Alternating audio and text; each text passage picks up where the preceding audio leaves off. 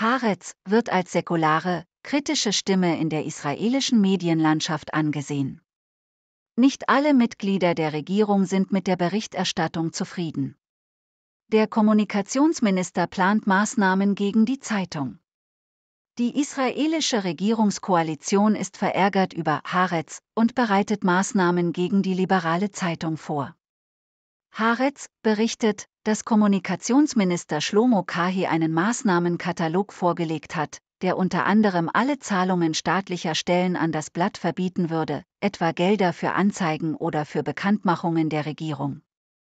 Kahi, der Mitglied der Likud-Partei von Premierminister Benjamin Netanyahu ist, warf der Zeitung vor, als Sprachrohr für die Feinde des Landes zu agieren. Die Zeitung zitiert aus einem Brief des Ministers an Haaretz. Darin heiße es weiter, die Zeitung betreibe Desinformation und zersetzende Propaganda, um die Kriegsziele Israels zu unterminieren. Staatliche Abonnements könnten wegfallen.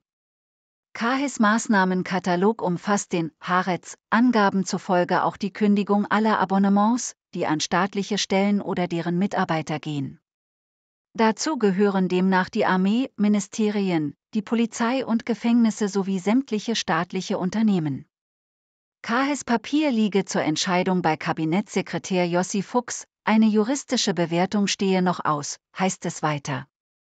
Kahe drohte dem Blatt außerdem indirekt mit dem Kriegsrecht. Es könnte sein, dass einige Veröffentlichungen der Zeitung sogar die Grenzen des Erlaubten überschreiten, die laut Strafgesetzbuch in Kriegszeiten gelten. Zeit, Haaretz zu lesen. Zeitungsherausgeber Amos Schocken äußerte sich kämpferisch, wenn die Regierung Haaretz schließen will, ist es Zeit, Haaretz zu lesen. Journalistengewerkschaft ist entrüstet. Die israelische Journalistengewerkschaft UJI verurteilte den Schritt als populistischen Vorstoß ohne Sinn und Logik, der sich gegen verantwortungsbewusste Journalisten richtet, die Tag und Nacht arbeiten, um unabhängig über den Krieg zu berichten. Man sei sicher, dass die Haaretz-Redaktion ihre wichtige Arbeit zum Wohle Israels fortsetzen und sich nicht von den dummen, leeren Drohungen einschüchtern lässt, so die UJI weiter.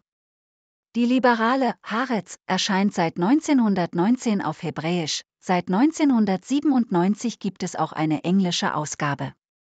Sie gilt als säkulare, kritische Instanz des Landes und setzt sich für eine klare Trennung von Staat und Religion ein.